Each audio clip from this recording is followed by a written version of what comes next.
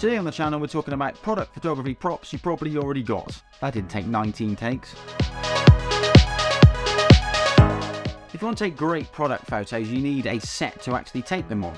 If you look on a site like Amazon or Wex, you'll see that anything labelled as a photography prop can get quite expensive, but there's no need to spend money on these things. You've probably got everything you need already in your house. Let's look at some examples. Let's start with your basic baking tray. It's not much to look at, it's mucky, filthy, been used hundreds of times to cook your tea, but it makes a nice grungy background.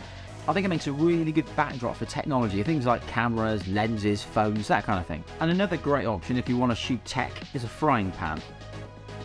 They're not particularly interesting on the inside, but if you flip them over, almost all of them will have some sort of texture on the back here, and the older and more used it is, the better it looks. So I gave this a quick wipe down and went to shoot my Apple Watch. You don't even need fancy lighting for this, I shot this one right next to my back door, that's just natural light coming in. And if you want to mix that light up a bit, add a bit of interest, I'll just use a pizza tray. The holes in it means it casts some really nice light and shadow patterns.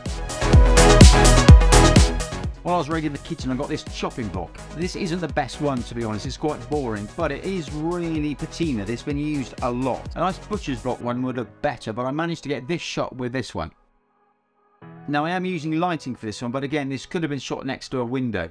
You don't need all the gear, you just need a nice big light source. One more thing which used to live in the kitchen and now lives in my studio is this piece of slate. I think it was originally intended for serving food, but it makes a great backdrop. You get a nice sheen from it if you hit it with light at the right angle. Very slightly reflective.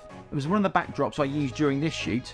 I find backdrops like this much more interesting because they have texture, unlike photography backdrops which are usually paper, cloth or card. Now this is one of my favourites. This is a really old beat up toolbox. There's nothing in it now, but it looks amazing on camera. Here's a few samples. Brand new high-tech drone parts shot against this beat up rusty toolbox give a really nice contrast. I like using leather as a backdrop as well, whether it's a bag or a jacket, and it's malleable so you can shape it around your subject. Smoke looks great in product shots as well, it adds some depth to them, but it can be expensive. I'd love to have a smoke generator like the Genie, it's amazing, but my god it's expensive, I can't afford that, so I use the poor man's version. Light up your joss stick, waft it around a bit and the smoke looks great, especially if it's backlit. If you're paying attention you probably noticed that in this particular shoot I used the slate, I used leather and I used my smoke machine.